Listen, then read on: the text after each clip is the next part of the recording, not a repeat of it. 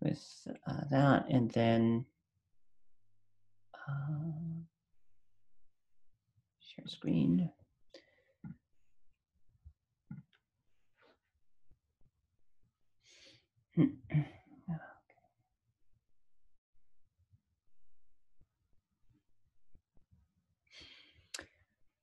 Um, okay, so I'll give you uh, a minute or so to write this down if you want. Um, problems. No.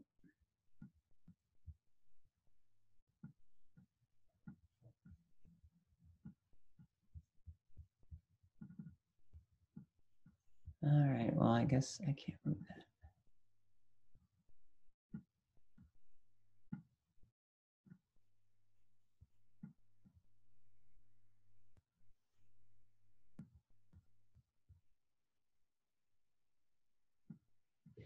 Okay. Um, oops. Okay. Um, anyway, um, good morning.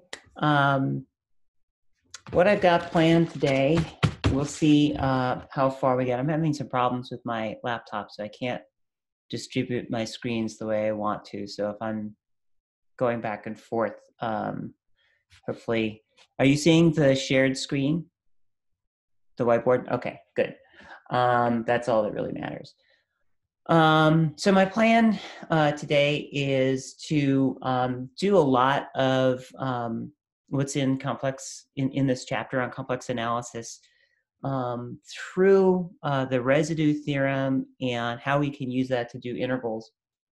So um, by way of overview, as I started doing uh, last time, the ideas are ultimately, how can we define and expand um, series in the complex plane? And what happens when analyticity fails? Remember, analyticity is essentially an expression of the existence of a derivative in a region, um, and we we kind of left off with the Cauchy theorem in order in order to do that.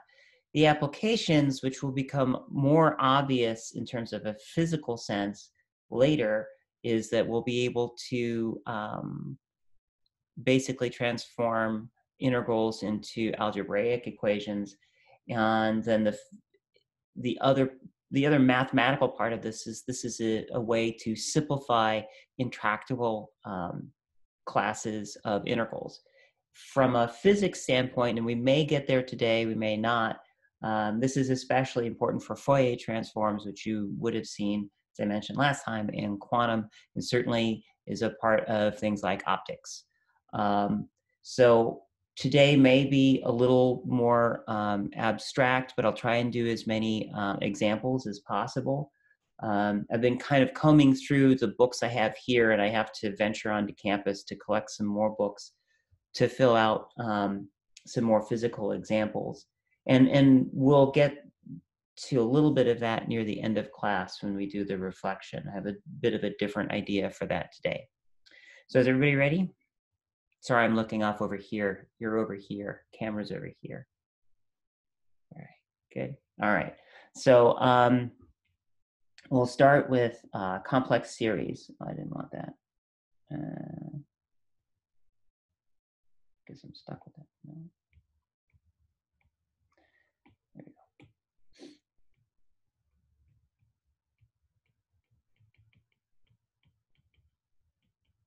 And um, what I want to accomplish, and sorry if I, what I want to accomplish uh, with this section is something that the book kind of skips over in like one sentence. Um, and that is defining what complex series are, and in particular, regions in which they um, converge.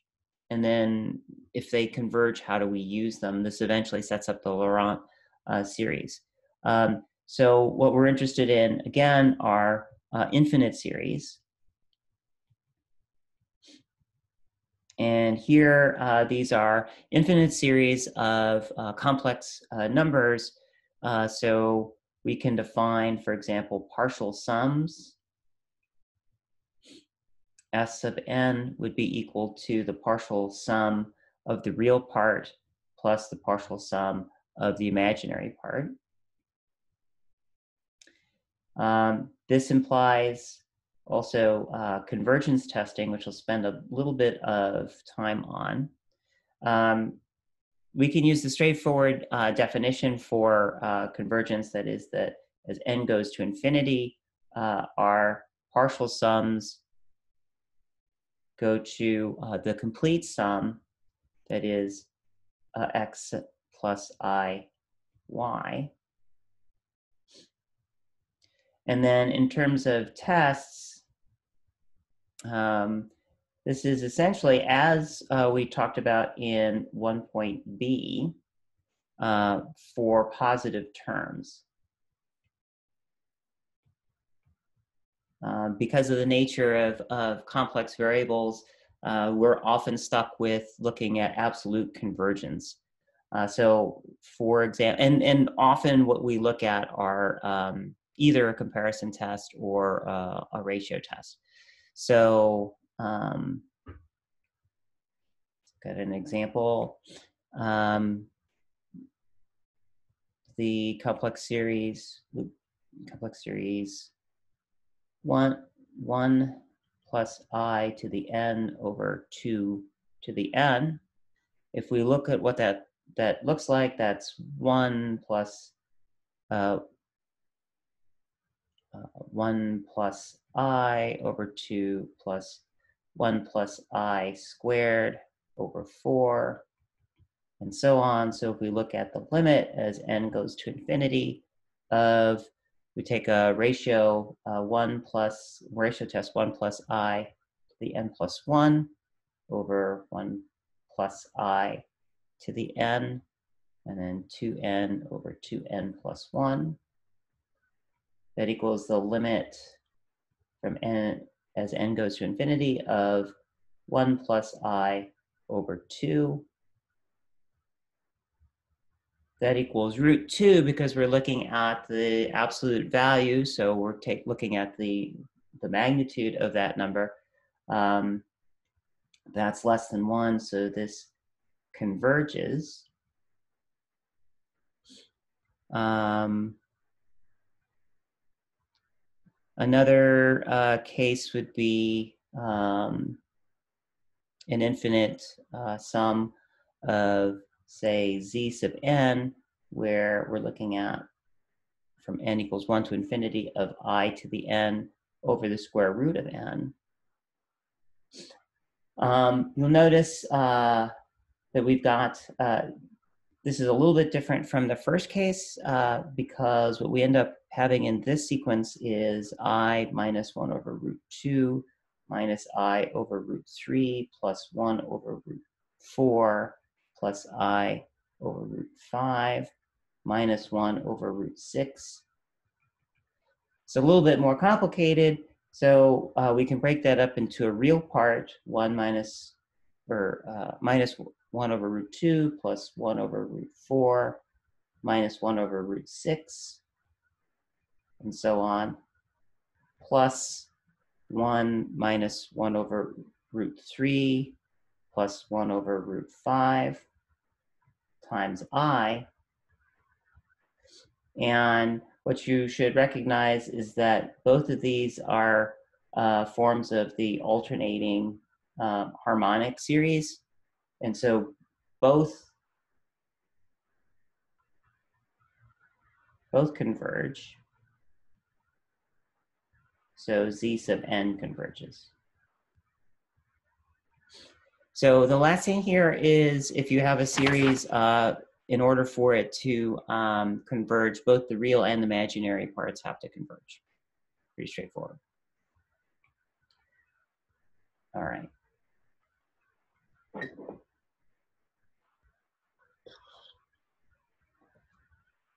Um, the the last thing I, I want to do sort of as preamble before we get to the stuff that the book talks about uh, are complex power series. So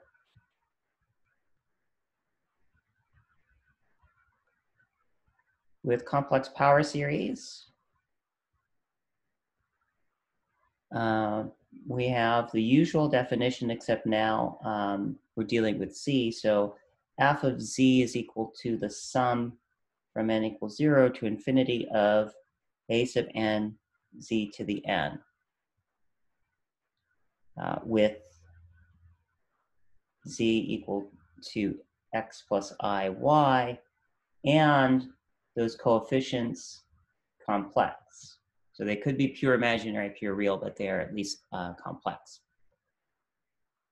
On the surface, this looks uh, exactly the same as what we've dealt with before, and there's certainly many um, similarities. But now, uh, because we're dealing with the complex plane, we have to uh, define uh, the circle and radius of convergence. So let's look at f of z is equal to, uh, say, zn over n. Uh, we can define uh, the radius of convergence in terms of the limit as n goes to infinity. Again, uh, using a ratio test, so zn plus 1 over z, and then n over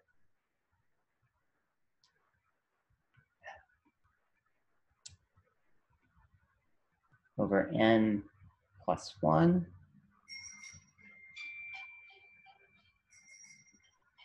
My phone's ringing, sorry. Okay. It's, yes, it's always sunny. Um, uh, that means there's a package coming, which means you get to hear my dogs uh, absolutely lose their shit in a few minutes. So, uh, anyway, this is um, not working. Okay, this is equal to the limit as n goes to infinity of z times n plus n over 1, which is the absolute value of z. Um, now, that doesn't do a lot for us. Um, what we're trying to extract from this from a convergent series is the limit as n goes to infinity of these terms, a, my God, stop it.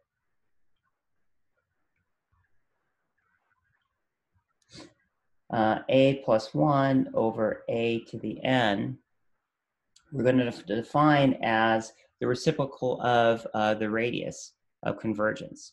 Um, so what that means is uh, we can find, in, in the first case, uh, the radius of convergence here is all z. So this is convergent throughout the um, uh, complex plane.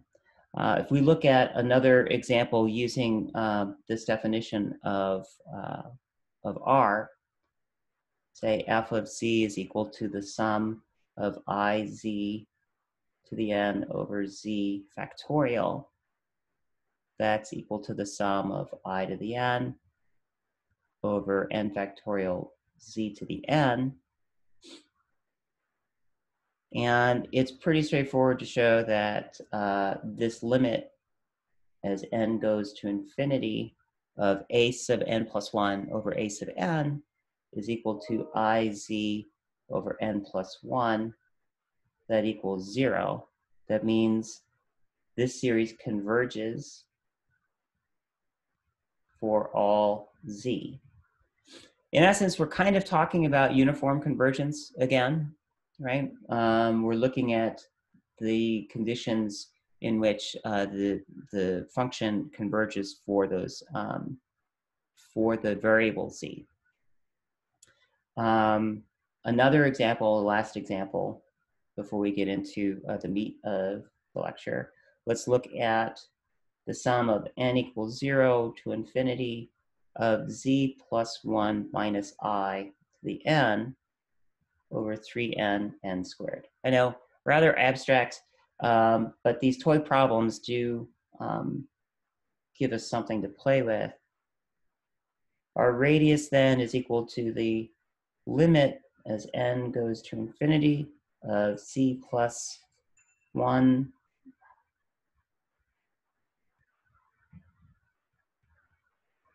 minus i over 3.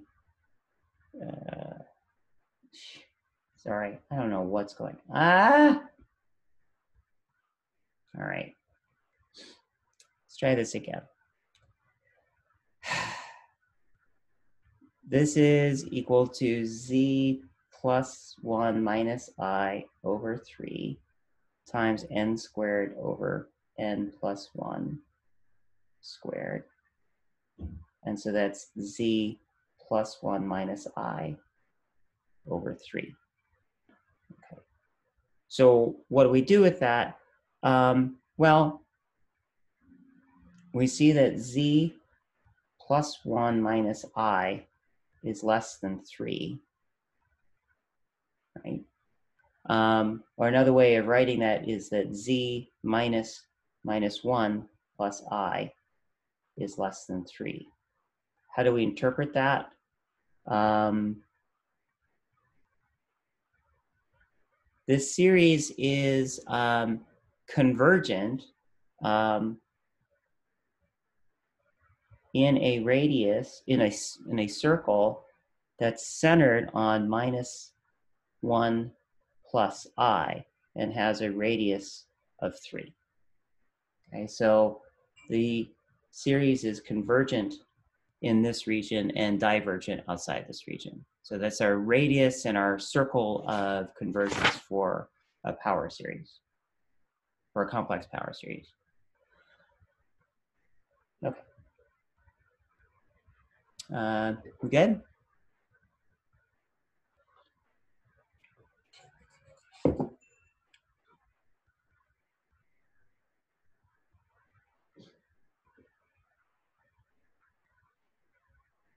Oh, it's actually something about the uh, the poll worker who used my driver's license as a mouth shield. So that's good. I don't know if you saw that. When I went to vote last week, um, I used uh, my cell phone bill to show that I had residence, and she took my driver's license and went like that to ask somebody a question. No, no, nothing. So I reported her to the election board. So if I'm sick in a week, you know why. Hmm. All right. All right, on to uh, the cool stuff and that is the Laurent expansion.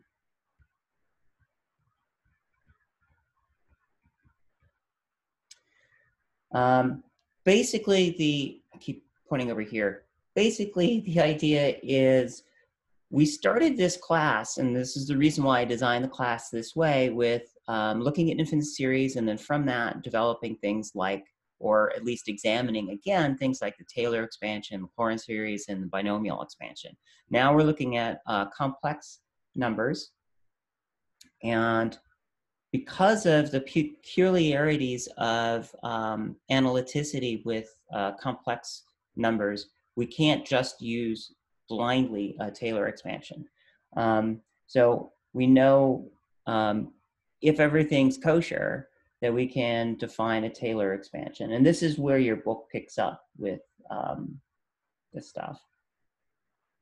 So the Taylor expansion for a complex uh, series or a function is the sum from n equals zero to infinity of z minus z naught to the n, and then times the nth derivative evaluated at z naught over n factorial right? And then obviously the Maclaurin uh, version of that is when z naught is equal to zero, right?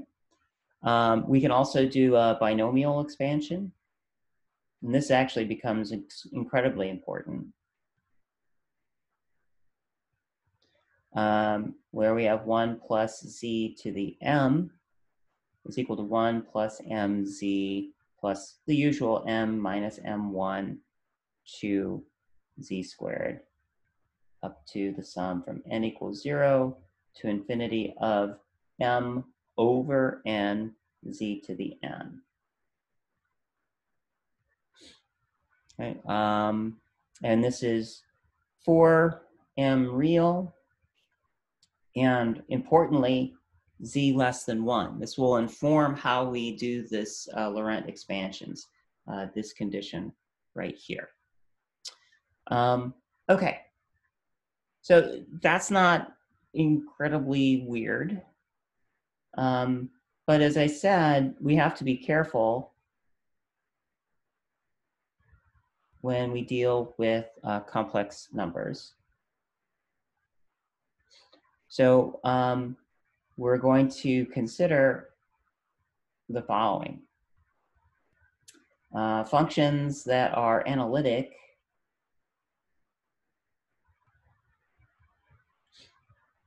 in an annular region uh, with uh, radii little r and capital R and center at z equals z naught. Um, then we're going to let our function f of z be analytic on or in this region between little r and big R. Um,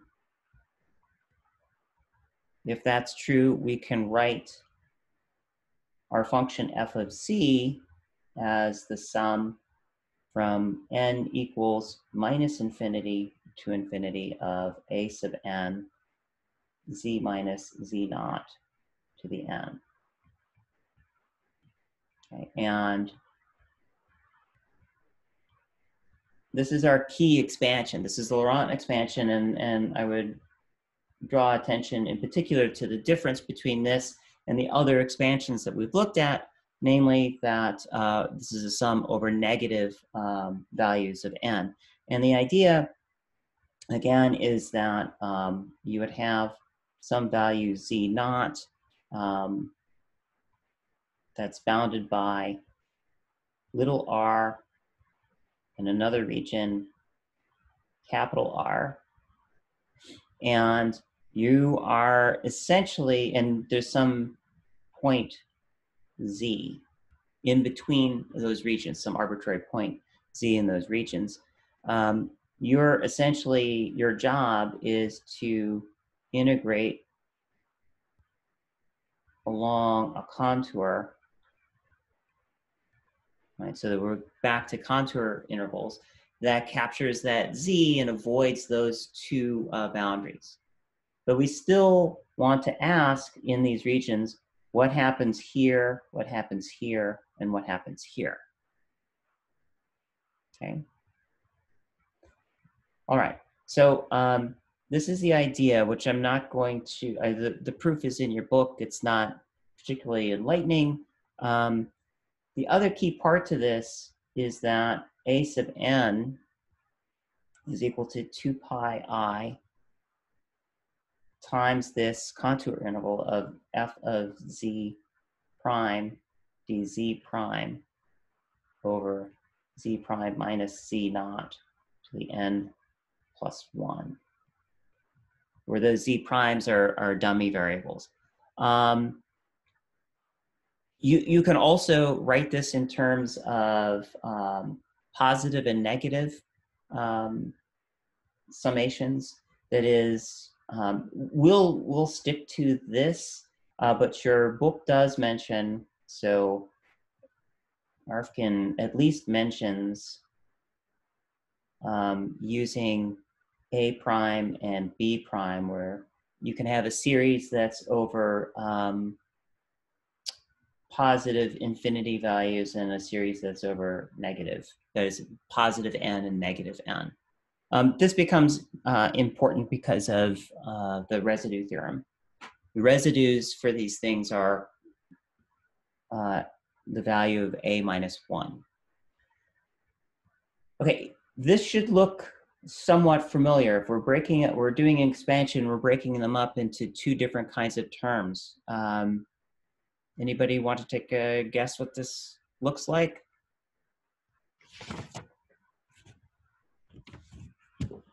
Or what does it resemble?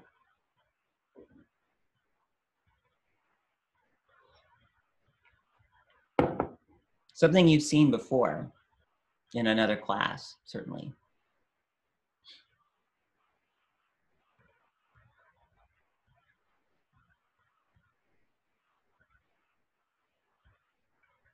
They even had coefficients a sub n and b sub n.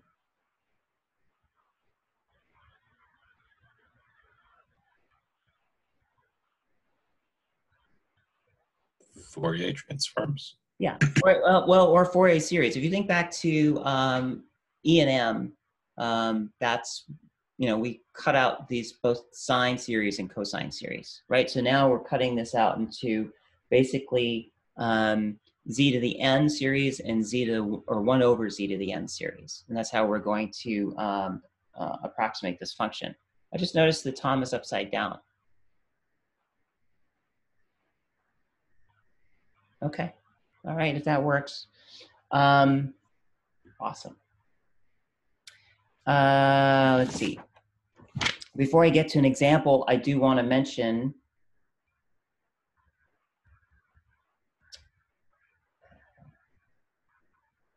a connection to uh, the Cauchy integral. That is, if we look at f of z is equal to 1 over 2 pi i times f of z over z minus c naught to the dz. That's just something that we've, we've seen before, right? What I would ask you to note is we can write z 1 over z minus c naught in a particular way. What can we do with that?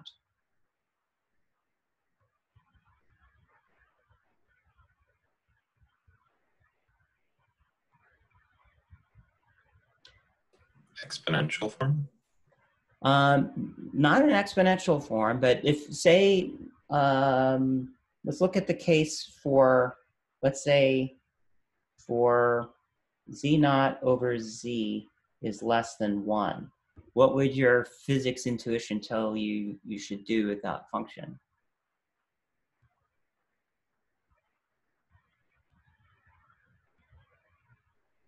You did on the homework last week. Right, this is just another way of saying z minus c naught to the minus one. Binomial expansion. Right, so we do a binomial expansion. In fact, um, what we would do is write this as 1 over z times uh, 1 minus z naught over z to the minus 1 because z naught is less than z. And so that, e that equals 1 over z times 1 plus z naught over z uh, plus half z naught over z squared, and so on, right? Um, on the other hand, if z naught over z is greater than 1,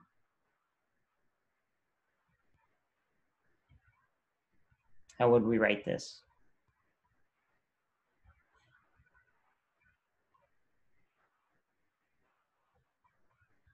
You would factor out a 1 over z naught instead and do the right. same thing. Right, So you factor over the, the z naught. So now this is equal to 1 over z naught times 1 plus z naught over z plus 1 half z naught over z squared, and so on.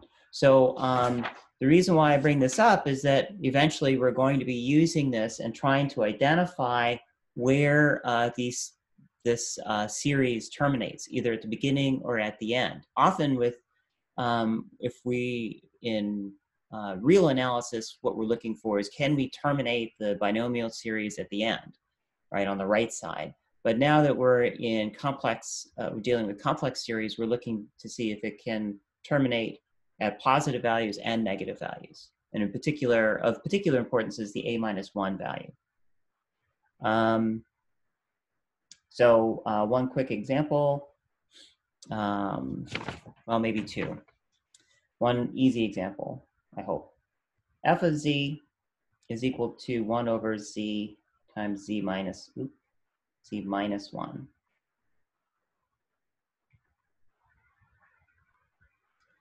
Um, here we have z naught uh, equals 0, and uh, basically we're letting little r be greater than 0 and big R uh, less than 1.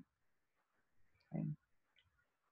So uh, I think it's clear that we have uh, singular points at 0 and 1. We can break this f of z um,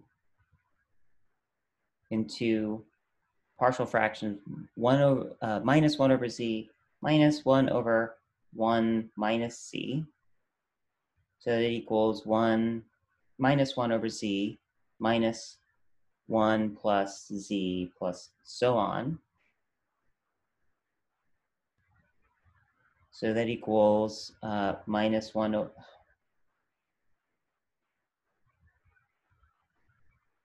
uh, minus uh, 1 over z minus the sum n equals 0 to infinity of z to the n. Another way of writing that is minus the sum from minus 1 to infinity of z to the n. Okay. And this is for z less than 1. And what we notice is that a, a sub n, in this case, is going to be equal to minus 1 for n greater than or equal to 1 and 0 otherwise.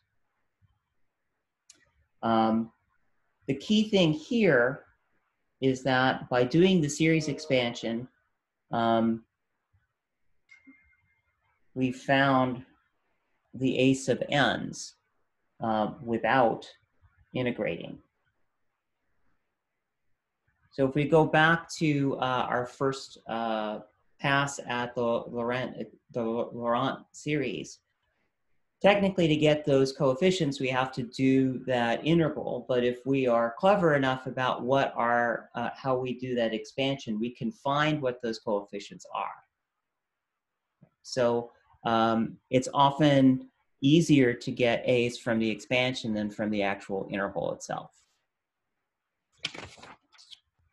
Um, a somewhat trickier one function would be f of z, let's write f of z is equal to z over z squared minus 3z plus 2.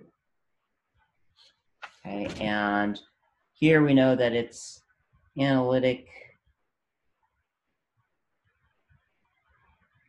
everywhere but where? Where are the two places it's not analytic?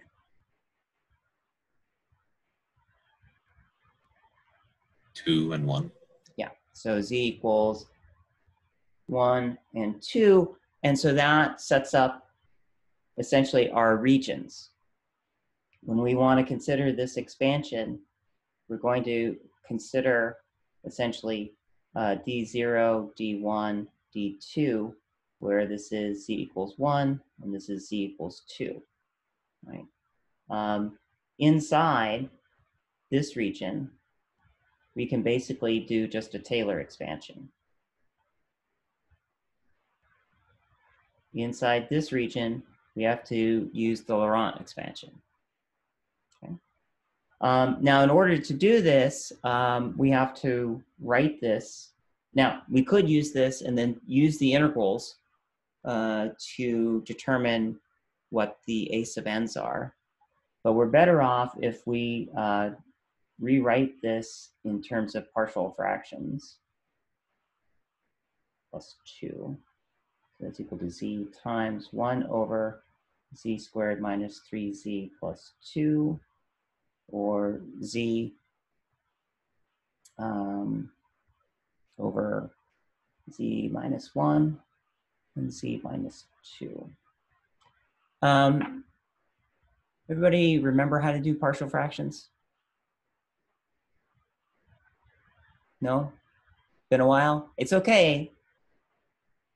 Um, so just a, a real quick reminder, um, if you've got um this, you basically, you, if you have something that looks like z minus 1, z minus 2, you want to construct partial fractions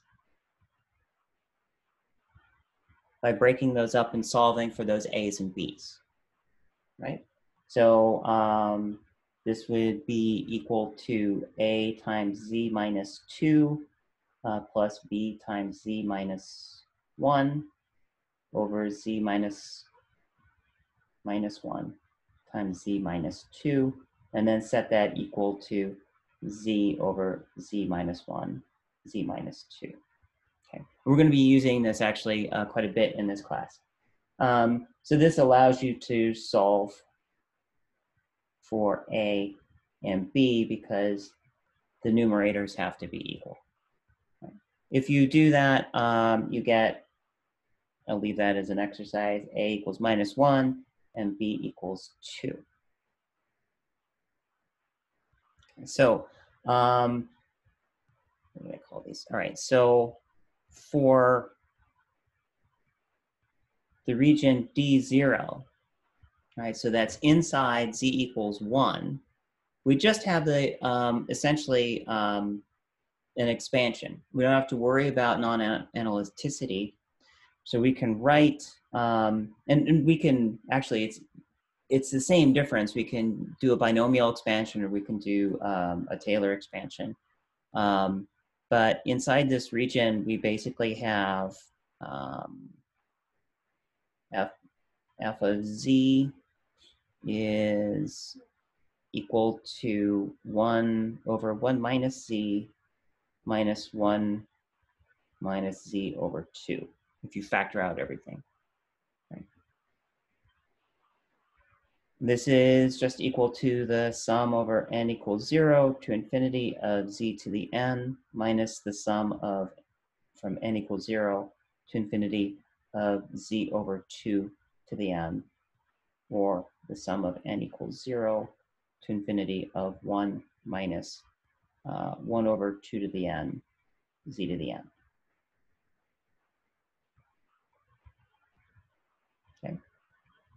That's all there is to it for inside D0. Now in D1, that's the annulus. Between 1 and 2. And here uh, we want to factor out the z. So we have our f of z is minus 1 over z times 1 minus 1 over z, and minus 1 over z, or minus 1 minus z over 2. Actually, we factored out the 2 in the last part there. Um, this again gives us our, um, our expression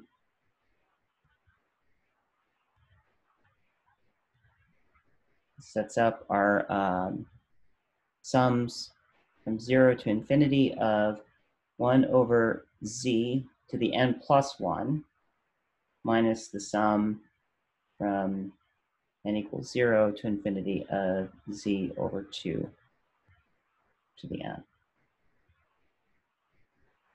Okay.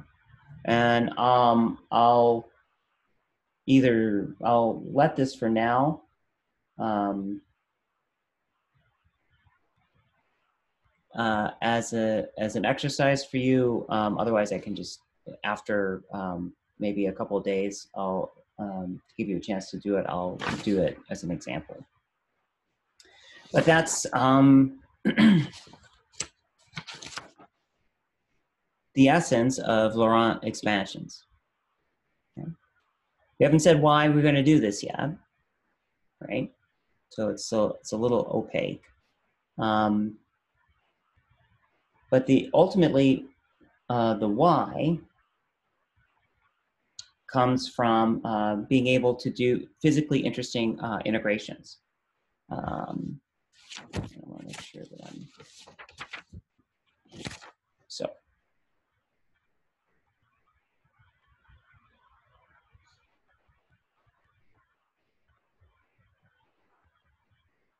Threaded throughout all of this is the issue of singularities, right? Singularities are where we lose our analyticity. Um, and so it's useful to uh, define uh, these singularities and uh, what they mean. So um, we know that they are isolated uh, points uh, that are not analytic, them Z naught. Um, but uh, what's important is that they're analytic on neighboring sides. Then um, we can define what are called poles. So given f of z as the expansion, in this case uh, with m from minus infinity to infinity of a sub m times z minus z naught to the m, um, we have, uh, let's see how we want to do this.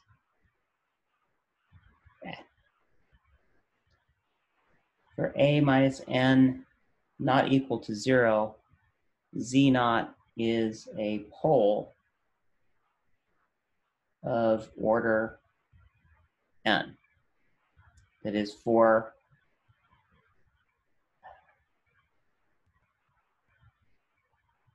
some that negative value of n.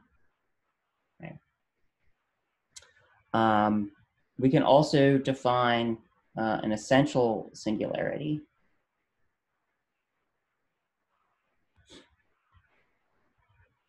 That's another way of uh, thinking of essential singularities.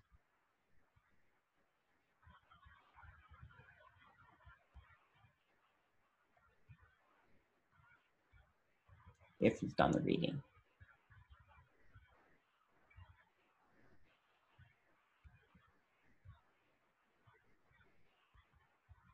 What's the most uh, extreme case of a singularity would be the most um, in, in the way that we're looking at these things. Right now so for example a pole of uh, order one is one over z right?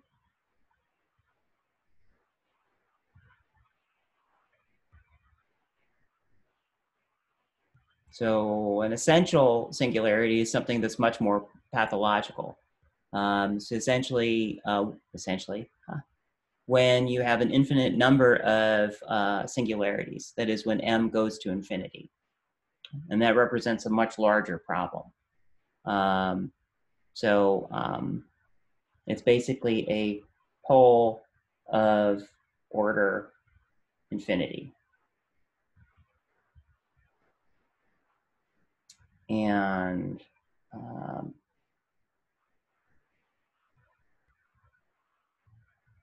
what we'll notice is that the coefficient a minus 1 of 1 over z minus z naught is the what we'll call the residue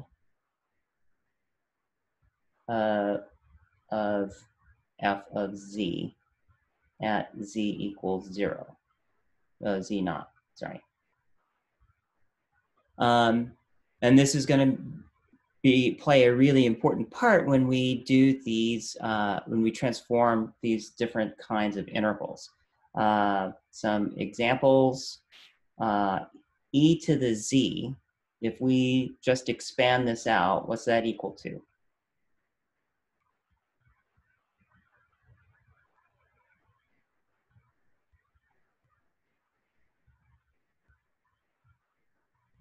What's that? What's just our normal Taylor expansion of this? 1 plus uh, z to the n over n factorial. Right. 1 plus z plus c squared over 2 factorial plus z cubed over 3 factorial. Okay. Um, what's the, uh, well, here, I'll just start with this, with this example. Um, our A naught is located right here, right? And it has a value of one. Here's our A1. Um, our A2 is 1 over 2 factorial. Our A3 is equal 1 over 3 factorial. Um, the lesson here is that this, and not surprisingly, this is analytic at z equals 0, and the residue at z equals 0 is equal to what?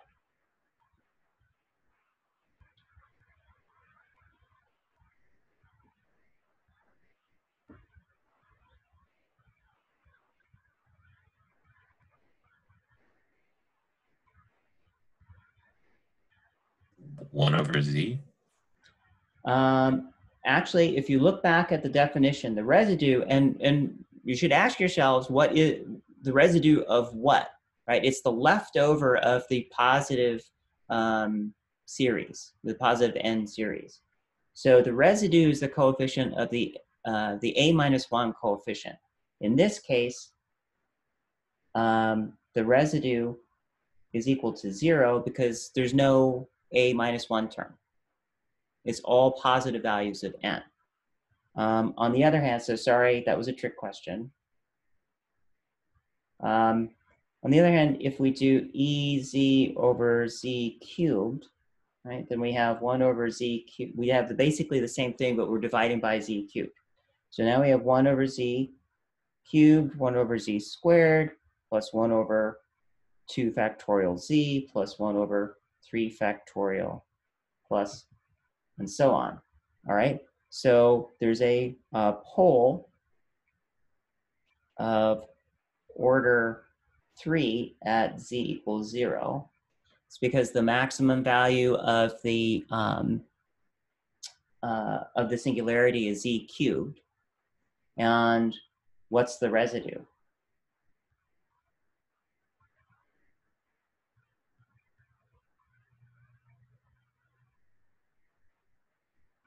To one half? Yes, it's equal to, perfect. It's equal to uh, 1 over uh, 2 factorial. This is a minus 3, a minus 2, a minus 1, a 0, and then a 1. Okay?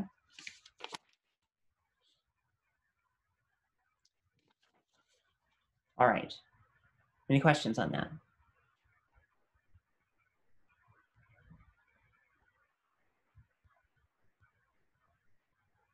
Um, all right, I know that we're kind of short on short on time. But I want to get to some kind of payoff. And that is the calculus of residues. So starting with what we what we set out with with today's lecture is defining uh, our complex series defining how we can expand a function and now using uh, those expansions. Um, so we'll start with the residue theorem, which is um, first considering uh, a Laurent expansion of f of z. So f of z is equal to the sum from minus infinity to infinity of a sub n z minus z naught to the n. Um, now, we, uh, if we integrated this term by term by using a closed contour encircling um, our singular point once uh, in uh, counterclockwise. So if we have a z naught, um, right, and let's put our z naught here and um, we're going to integrate over that.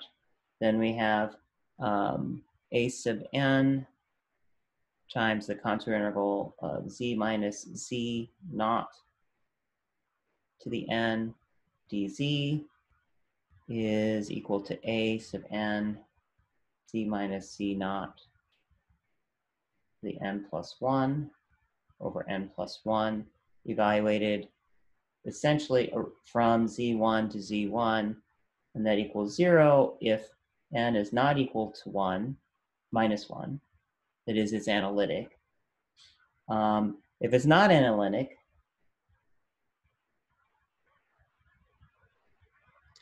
then a minus one, which is again our residue, times this integral, z minus c naught minus one dz is equal to what? What do we know from the Cauchy um, integral theorem?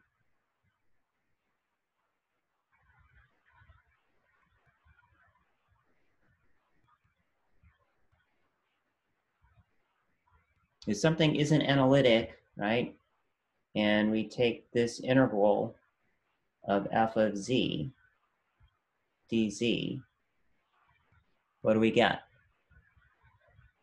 from Cauchy?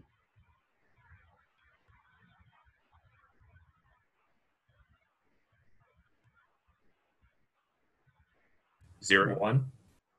Uh, so remember, if this is, if this is non-analytic,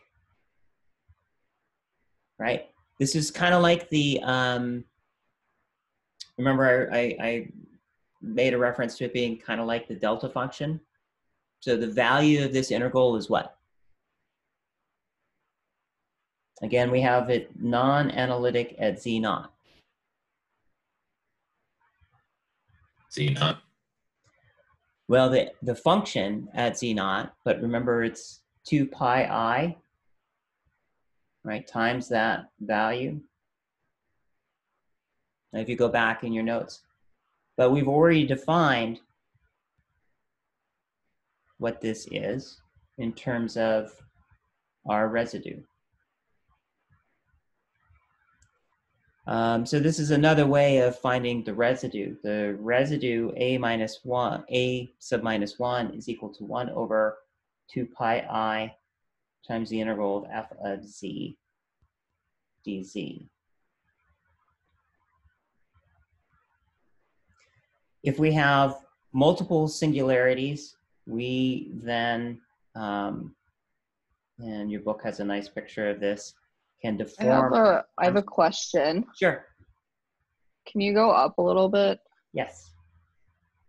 Okay.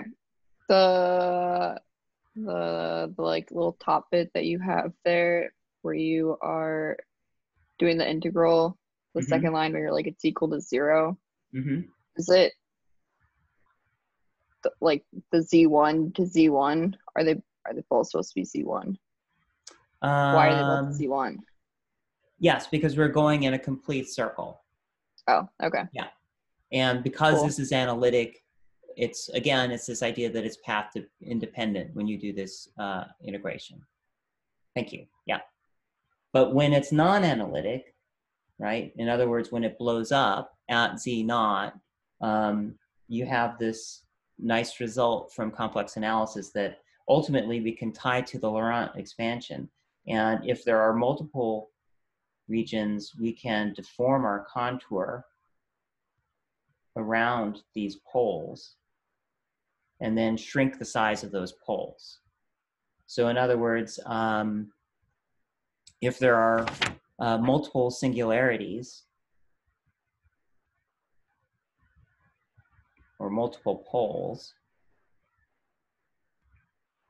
then uh, the contour integral of f of z dz is equal to 2 pi i times the residue uh, for, say, z naught plus the residue for z1 plus and so on. In other words, it's equal to 2 pi i times the sum of the residues.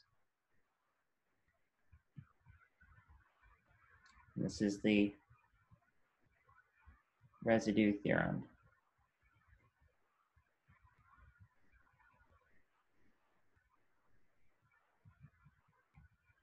Um, running out of time here. So one, that means that if we have a function and we uh, have a contour around that function, we want to do that integration. All we have to do is locate where the poles are, um, and we can redo the um, integration in terms of uh, the residue finding the expansion and finding the a sub minus one value of that expansion gives us the value of that integral uh, on that region. Uh, what I'm going to do uh, later, because we're running out of time, um, and we'll see where we get with Monday. I want you to try the homework. I might extend it because we're a little bit behind. Is that uh, we're going to look at uh, integrals now. Um, and they're going to be things like um, what if you have a function of sine and cosine and how we can uh, solve that uh, with the residue uh, function. How uh, can we uh, solve um, functions that look like e to the ix? This is the Fourier transform. Um, and uh, see trying to skip ahead here.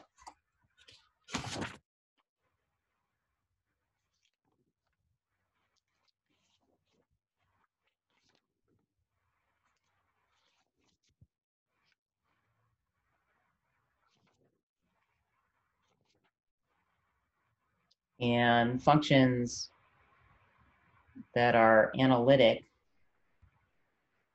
in um, upper uh, hemisphere or lower hemispheric plane. It is have a, a, coordinate singularity or singularity above or below the plane. Um, obviously, you don't have time to get to that, and I apologize. Um, and since we're running out of time, rather than breaking you out into uh, breakout rooms, um, I just rather uh, we chat. So let me just uh, have my kind of view of this week. Um, this has been more or probably the most uh, abstract part of what we're going to be doing. So we're setting down uh, the guidelines for what we're going to do later. Um, and that's fine. Uh, but it's it's not quite as satisfying as having a lot of physical examples. So um, I, I understand that. Um, so if what I'd like to hear from you is um, one, if you have an idea of of what the main point is, I would like to hear that. But also, two, what is an example that you'd like to see uh, that I can add uh, to Moodle um, over, say, the weekend, over today or the weekend that would help you with some of the, the stuff that we've been talking about? Because I know that this is abstract. So go ahead.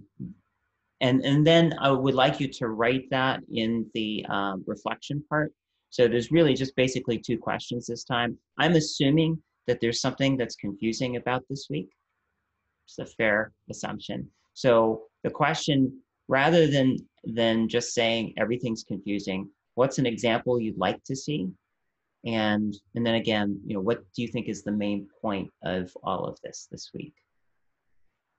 So we got a couple minutes. I'd like to hear some ideas.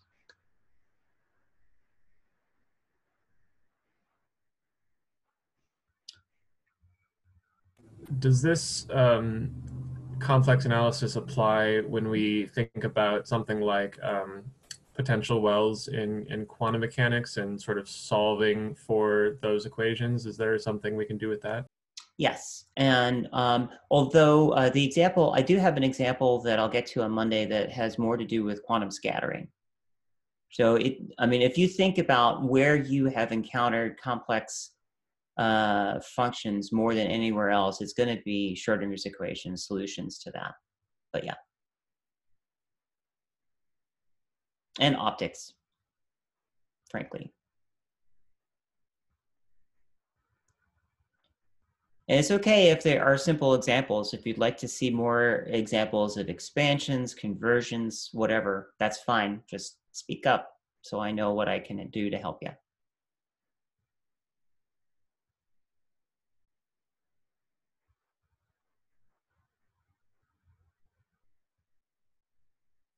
Maybe more, I'm sorry.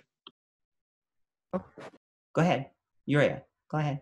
mm, maybe more of a residue examples. Okay. All right. Um, I have um, more, I definitely have more examples of residue calculation, so I can do that. And I'll try and tie that more physically um, in a couple of videos. That's that's good. Adrian? Yeah, maybe an example of doing one of the contour integrals. Okay. Um, that's I, I can combine that with one of the things that um, you're going to need for the whoa okay that's weird one of the things that you're going to need for one of the homeworks is wow,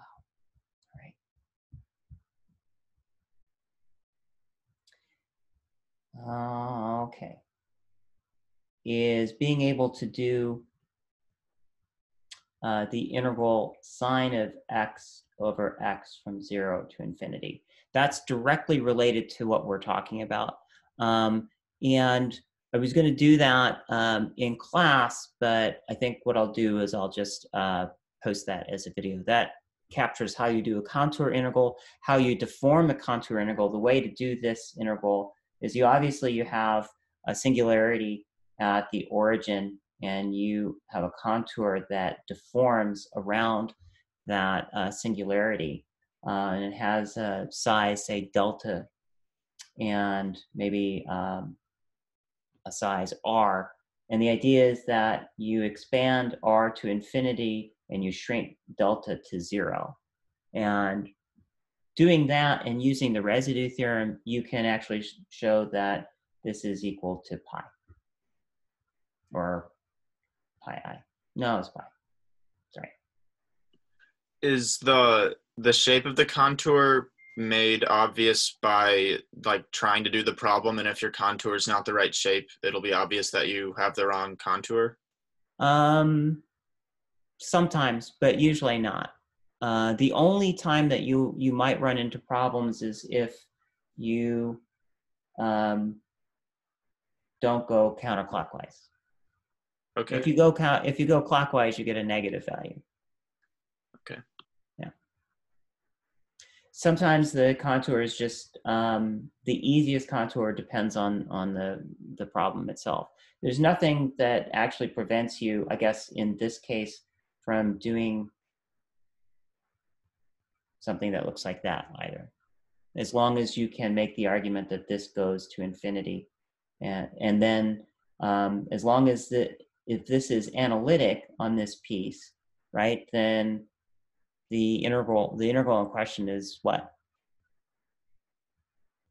Zero. Is zero, right? And what's neat about this particular problem is that you're going to take apart, you do an expansion of sine of x over x, you do an expansion, but since you know that all of this and this and this has to be zero, the only thing that matters is what's going on here as you shrink close down to uh, the singularity.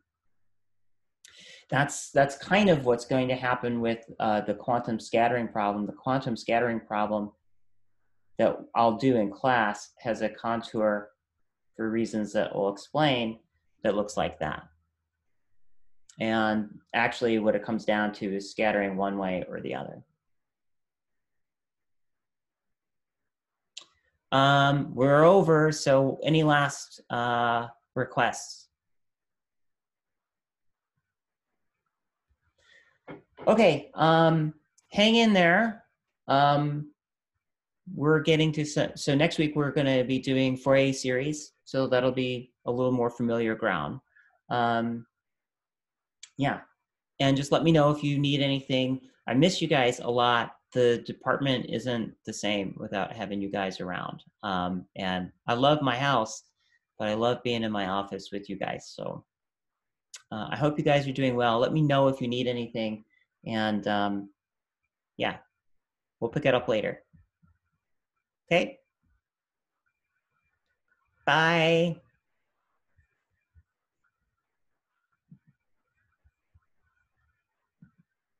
Allie didn't say hi, Willa. That's so sad.